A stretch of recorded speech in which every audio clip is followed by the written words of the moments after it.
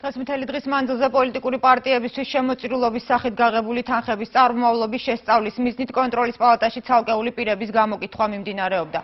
მონიტორინგის სამსახური 32 პირის თანხების წარმომავლობას იკვლევს, რომელმაც გადარიცხობი თავისუფალი საქართველოს ნაციონალური მოძრაობის ახალი მემარჯვენეების, რესპუბლიკური პარტიის, კონსერვატიული პარტიის, ეროვნული ფორუმის, საზოგადოებრივი მოძრაობა ქართული ოცნებისა და კოალიცია ქართული ოცნების ანგარიშებზე განახორციელეს.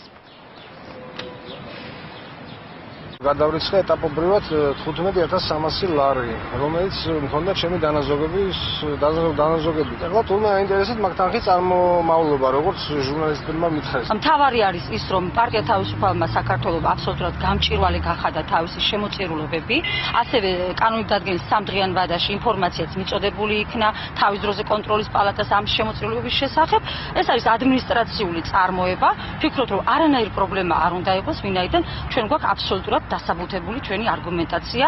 მეც როგორც ერთ-ერთი მონაწილე ამ პროცესისა, ჩემი დანაზოგიდან ეს პული გადავრიცხე პარტიას. მე მინდა რომ აი თანხები ჩემი დანაზოგი საიდან არის წარმოიცოდეს საზოგადოებამ და არა ავტოკრატმა და ბიუჯეტის უკონტროლო ხარჯავმა სააკაშვილმა.